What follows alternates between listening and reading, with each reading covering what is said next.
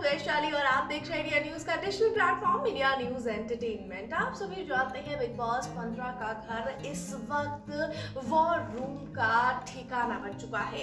हर कोई ticket to finale और finale की रेस में इतनी तेज़ी से दौड़ रहा है कि हर किसी के रिश्ते नाते एक दूसरे से न सिर्फ़ खराब हो रहे हैं, बल्कि कॉन्ट्रोवर्सीज का सिलसिला भी बढ़ता जा रहा है।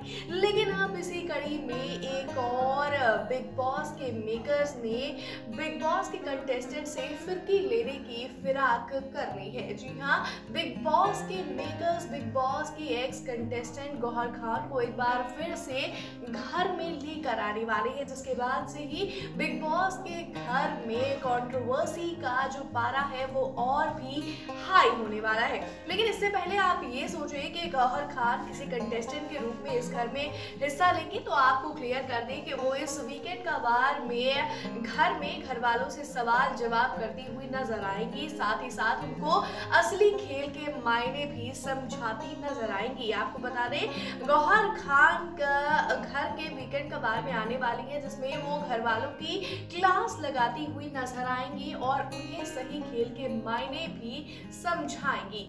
इस तरह की खबरें सामने आ रही है कि बिग बॉस के घर में करण कुंद्रा, प्रतीक सहजपाल और तेजस्वी प्रकाश, इन तीनों ही कंटेस्टेंट्स पर गौहर खान की गाज गिर सकती है, जिसके अंदर गौहर खान के गुस्से का शिकार इन सभी कंटेस्टेंट को होना पड़ सकता है। तो आज वीकेंड के बार में और क्या कुछ खास होगा, हम पल पल की अपडेट आपको देते रहेंगे। फ़िलहाल हमारी इस वीडियो में बस इतना ही, लेकिन एंटरटेनमेंट जगह से जुड़ी हर छोटी बड़ी अपडेट के लिए देखते रहेंगे इंडिया न्यूज़ का digital platform India News entertainment अगर आपको हमारा ये वीडियो पसंद आया हो तो वीडियो को लाइक करें और चैनल को सब्सक्राइब करें। और हाँ बेल आइकन को दबाना ना भूलें ताकि आप तक वीडियो का नोटिफिकेशन पहुँचता रहे। देखते रहिए इंडिया न्यूज़ एंटरटेनमेंट